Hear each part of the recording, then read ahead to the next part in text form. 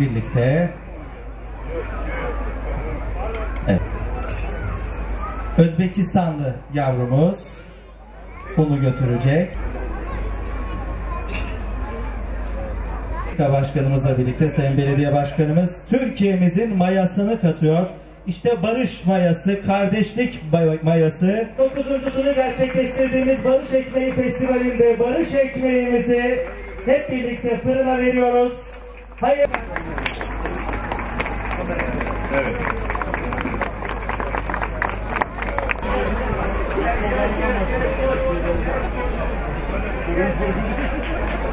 Hiç kimse bir sonraki saniyede ne olacağını kestiremez. Çünkü her an bir bombayla, silahtan çıkan bir kurşunla veya bir saldırıyla hayatınız bitebilir.